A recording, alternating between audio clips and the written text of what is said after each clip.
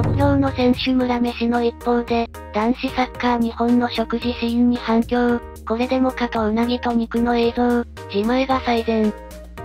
今大会の選手村では、卵やグリル肉などのタンパク質の不足が取り沙汰され、本格フランス料理とは程遠いクオリティに、選手があまり良くないと漏らすなど、食事面での不備が多発。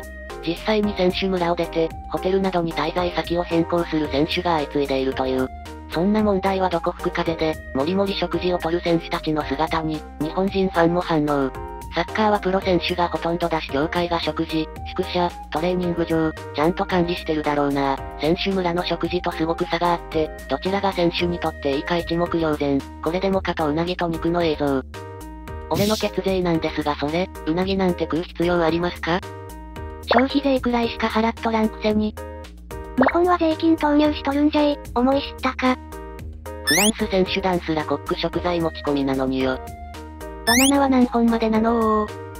なんならフランスまでの渡航費を少なからず自腹切ってる競技あるとか見たけど、さすがにそれは嘘であってほしい。そもそも自分の食う飯くらい自分で調達しろ。ただでフランスまで行ってるんだからよく考えたら当たり前だわ。食材とシェフを持ち込み。サッカー男子の食べ残しは他の競技の選手たちにお裾分け。まあサッカーはアジア予選でとある国が嫌やらせしててるから伝統的に絶対どうなんだわ。チャンネル登録してくれるとめっちゃ嬉しいです。どうかよろしくお願いいたします。